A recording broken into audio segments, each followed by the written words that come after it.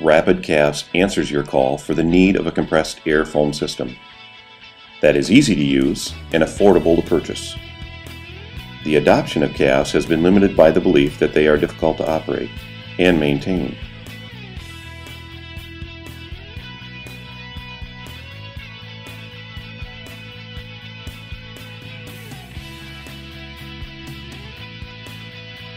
Rapid CAFS allows you to flow CAFS in three simple steps after the pump is engaged. Step 1. Engage the air compressor.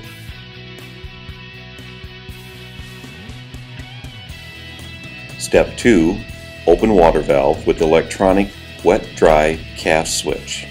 This will automatically engage the foam system. Step 3. Bring throttle to approximately 100 psi, or normal pumping pressure. Simply adjust the wet and dryness of CAFS with the electronic switch technology.